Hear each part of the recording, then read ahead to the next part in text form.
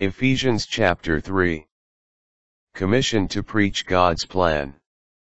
Because of this, I, Paul, a prisoner of Christ Jesus for you Gentiles.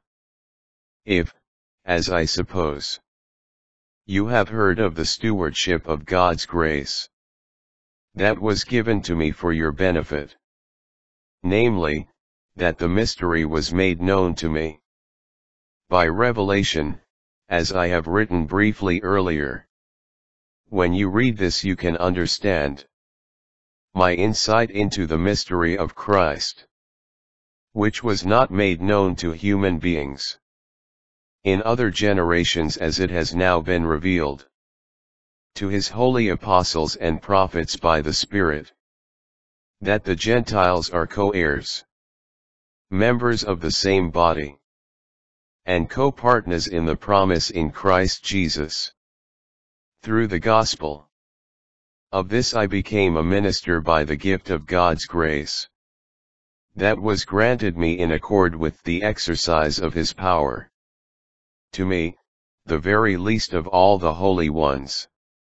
This grace was given to preach to the Gentiles the inscrutable riches of Christ and to bring to light for all what is the plan of the mystery hidden from ages past in God who created all things, so that the manifold wisdom of God might now be made known through the Church to the principalities and authorities in the heavens.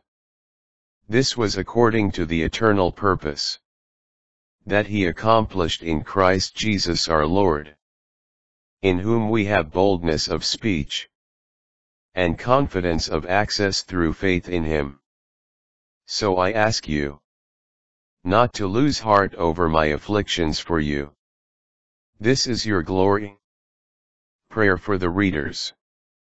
For this reason I kneel before the Father, from whom every family in heaven and on earth is named that he may grant you in accord with the riches of his glory to be strengthened with power through his Spirit in the inner self, and that Christ may dwell in your hearts through faith, that you, rooted and grounded in love, may have strength to comprehend with all the holy ones what is the breadth and length and height and depth, and to know the love of Christ that surpasses knowledge, so that you may be filled with all the fullness of God.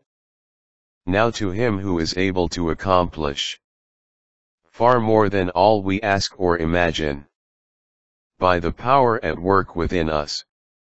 To him be glory in the church, and in Christ Jesus to all generations, forever and ever. Amen.